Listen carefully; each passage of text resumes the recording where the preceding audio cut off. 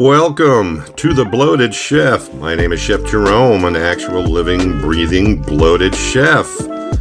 We are calling this channel Recipes Off the Rails because we take some traditional recipes and we push them off the rails. Now, before we get started, we could use your help. We're trying to get to a thousand subscriptions and we're grinding.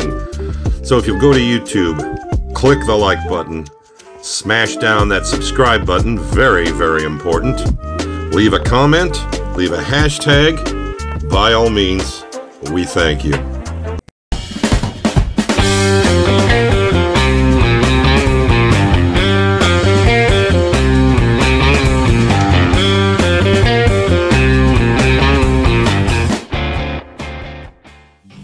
Oh, and a shit show it is as we hoof it 167 miles south down I 75 to Vienna, Georgia. That's right. To meet up with the new proud proprietor of the What's Shaken Saloon, Mr. Gregory Charles Gore. Check this great little joint out. Oh, the future of this thing's going to be really cool. But for now, we're here for the GBA, Georgia Barbecue Association Professional Barbecue Competition, our very first one. And we're up against the big boys, the Bite Back Barbecue. Is that not the best sign? I'm thinking it is. They're in town with their $100,000 SUVs and their $200,000 double and triple stack smokers.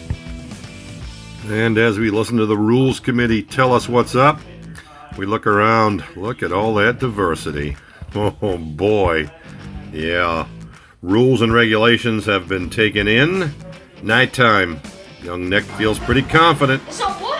Nick, you get the pride of knowing you're the champion. That's how you do it. That's how you do it. We don't care about the crowds. We just want we just want that ring and the we want that ring and the title, buddy. So as the competition with their three to five man teams are working 24/7 with their citrus mops and their smokers, we unleash our secret weapon.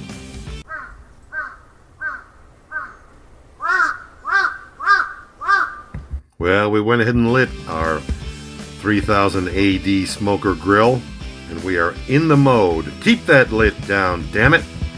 All right, we send Mr. Gore over to do a little recon, do a little Jedi mind tricks, see if he can't figure out what these boys and their double cabinet $200,000 smokers are up to.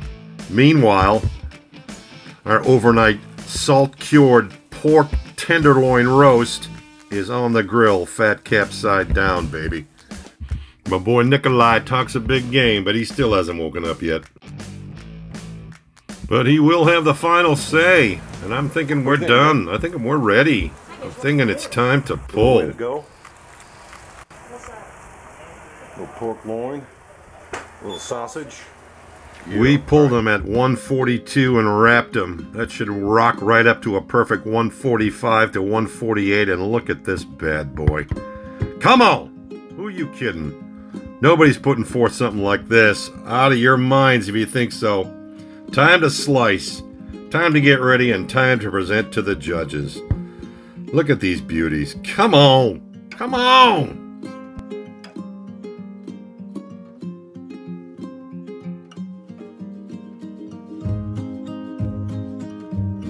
Now I ask you, look at that fat cap.